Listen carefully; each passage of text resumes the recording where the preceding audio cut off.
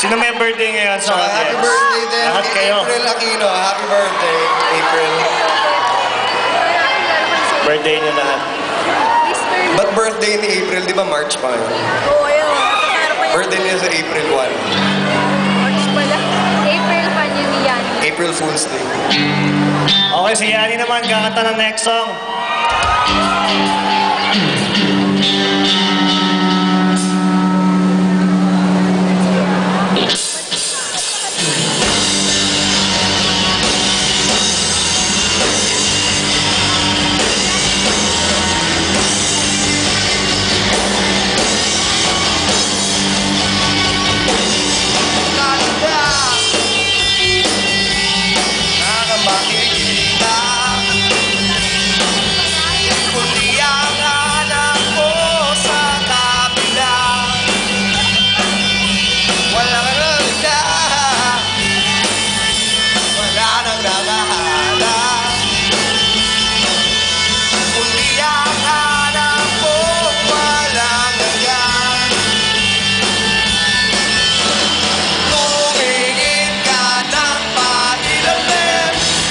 Sa dilim At sabihin mo kung ano